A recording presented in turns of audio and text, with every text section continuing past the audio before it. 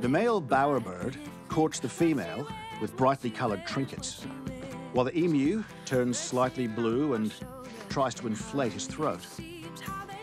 Then there's the good old Aussie galah, who proudly raises his crest, performing impressive acrobatics in the air to prove just how good a cat she is. To the rest of the animal kingdom, these courting rites come naturally. But for most humans, it's just not that simple. We call it dating. And there is nothing natural about it. So, a tie, do you think? Dad, have you seen anyone in Weld wear a tie?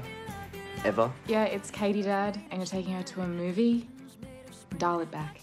Okay, I'll dial it back. If you and George get married, then me and Arlo will be like twin brothers. How awesome is that? Sweetheart, no. There is no awesome.